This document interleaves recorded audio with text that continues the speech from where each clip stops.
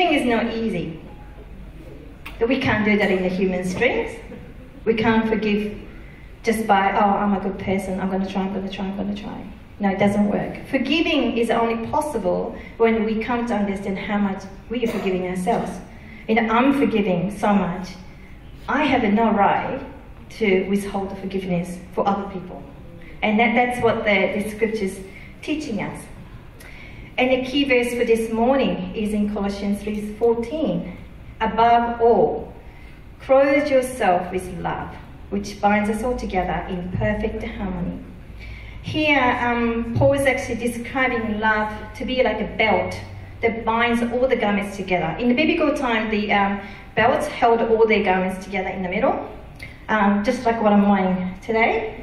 It's a bit similar, so you know, if I take this belt off, everything will come undone. And you don't want to see that, do you? I don't want to see that. But that's what, if you get the picture of it, just thought about it. Okay, so this is, think about it. This is a love binding all of the other components that we just read about it. Compassion, kindness, gentleness. You know, all of that is binded by love. If you take the love away, it's all undone. You know, that's what it means. So in a way, in the same way, above all, he said above all, love is like a belt that holds all our characters together. And out of that love of Jesus we have in our heart, it becomes our nature. Compassion, kindness, humility, gentleness, and patience all manifest out of that love that we receive from Jesus. And it goes on to say, it holds us all together. All of us. Not just the holding my characters and my garments in one, but it holds us all together in a perfect unity. Beyond our differences, beyond our cultural background, beyond my opinion, your opinion, you know, beyond my personal preference and what you prefer, all of that, put to the rest. Why? Because the love of the Christ that we put on ourselves, clothe ourselves with, bind us all together, believers, in a perfect unity. That's pretty deep, isn't it? Just remember the image of the belt, but don't think about me undoing it, okay? I just, I love actually being in, in our church because, um, because of the cultural diversity. I, I've learned a few different you a words from all different people. I have a little boy teaching me uh, Chinese, how to say hello in Chinese, and all my Brazilian friends have been teaching me to dance samba. So I was a bit, I was a bit disappointed when I don't see that this morning. Could happen, yes. So verse 15, let's go on. And the last verse here said, And let the peace that comes from Christ rule in your hearts for as a member of one body, you are called to live in peace and always be thankful. What does it mean that let the peace that comes from Christ to rule in our hearts? It means peace be our umpire. You know, umpire, there's a baseball game. Does everybody watch baseball? Baseball? No? But you're familiar with? Yeah, it's making a call. Let the peace of Christ in our hearts make a call when we don't understand. When we don't understand, why does this person do that? Why did this person that that? Why did he say that? Why did she say that? Or even with God, why did God allow that to happen? Why did God not allow that to happen? Let the peace that come from Jesus rule our hearts. Make a call on our hearts. And for as a member of one body, we are all one, someone said that this morning, we are called to live in the peace. It's not just me and one person. It said that we are all, means all of us, all of the believers are called to live in peace. And it said, always be thankful. Always be thankful to God for His love, for His compassion, for His gentleness, you know, but also be thankful to the others. Thankful to the others. You can always hear the language of the thankful person. You can always hear this, the language when a people has a peace in their hearts and know they're loved by God. You know, otherwise, we're going to pick up all sorts of different accents here that it does not align with language of God. So, it's not easy, is it? to cross ourselves with all of these things. Above all, love, and then compassion, kindness, humility, gentleness, and patience. And on top of that, he said we need to forgive. We need to be peace with each other. It's actually not about the behavior tick list box.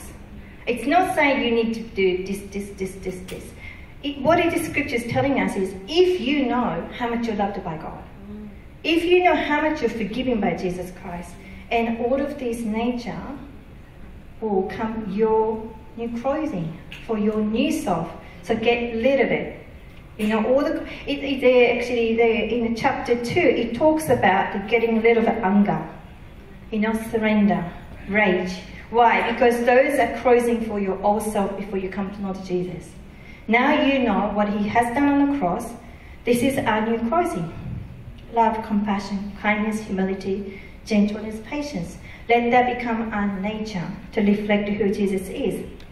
It sounds a little crazy because we are in a world being exposed in so much anger and hatred and confusion.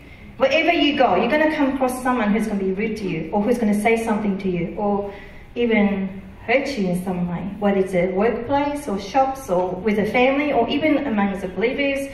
It does happen. So it does sound a little crazy when I say we need to show kindness to those people who continue to disappoint us.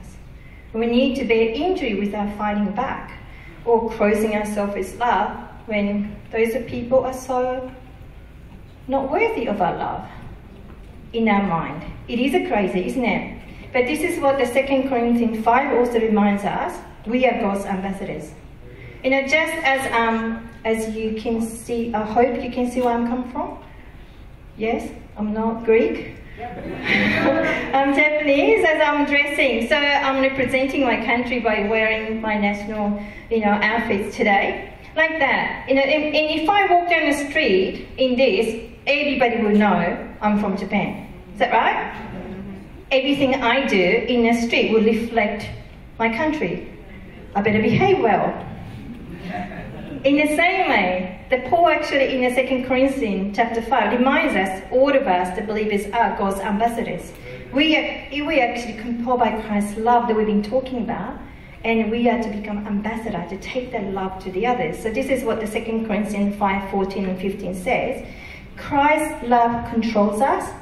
In other translations said, we are compelled by Christ's love. Since we believe that Christ died for all, we also believe that we have all died to our old life. He died for everyone, so that those who receive his new life will no longer live for themselves.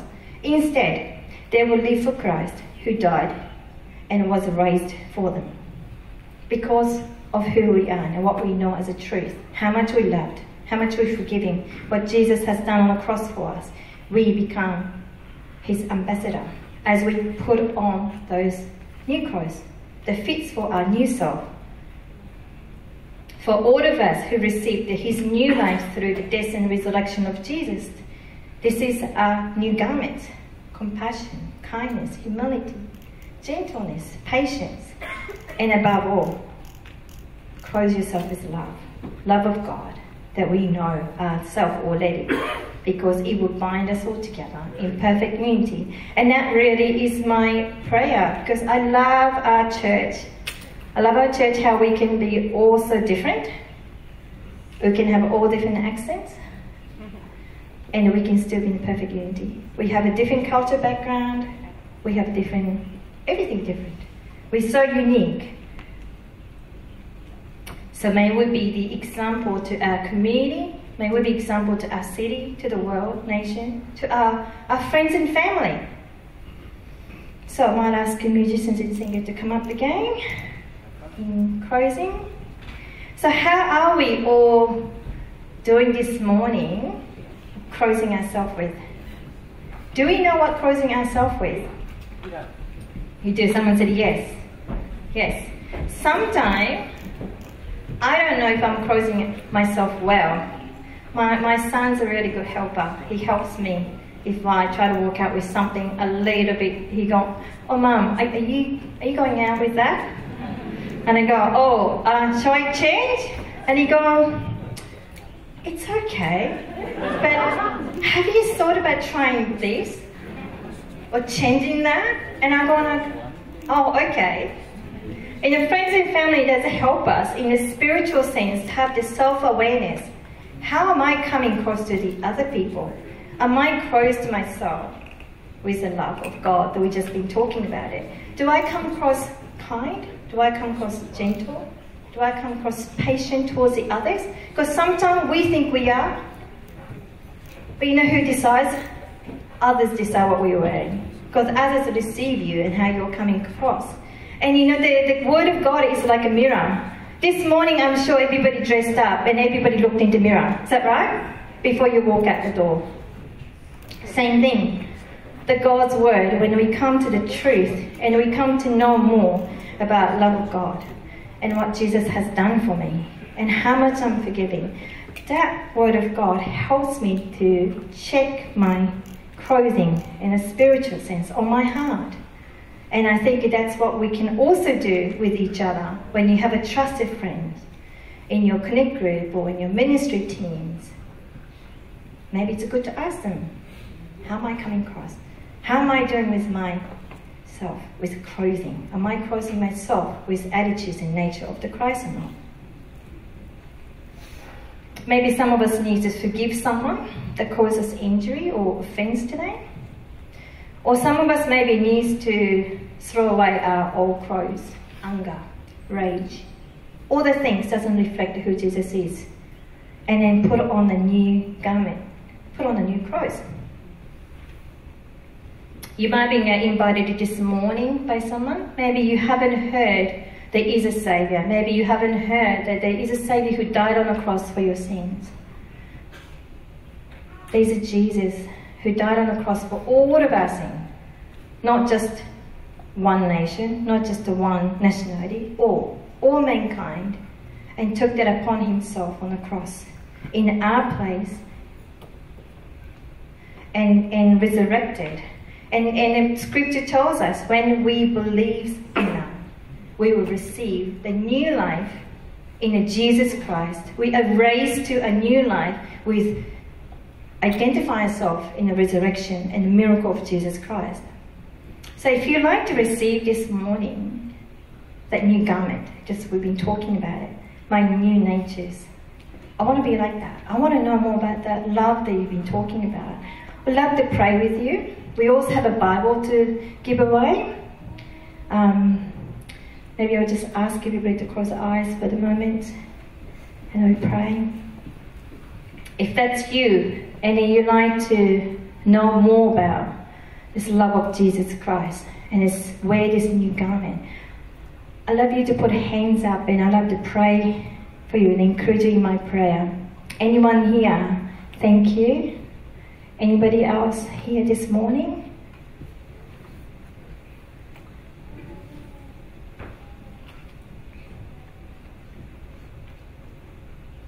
Okay, let's pray. Lord Jesus,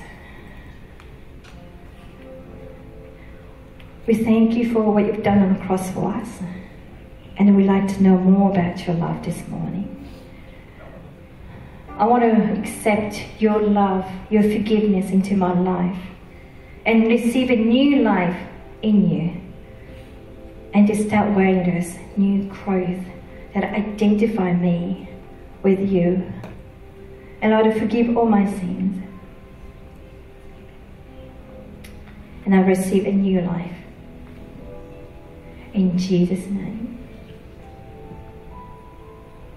Those who just put hands up, we have a Bible at the information desk.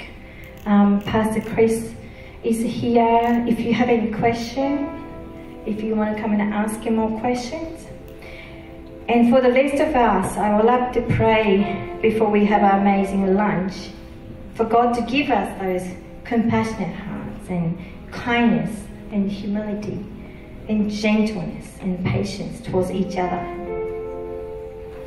So, Father, we just thank you for your presence here this morning. Lord, we thank you that we are so different, yet we are one in your love, Lord. And God, this morning, We just ask you to give us a compassionate heart instead of a hard heart that no longer breaks for those who are in the pains or suffering. Lord, we just ask you to break our heart this morning. Let us feel the pain that you see and you're feeling in those in your suffering, Lord Jesus. And Lord, give us a kindness in our hearts instead of the unkindness. Give us humility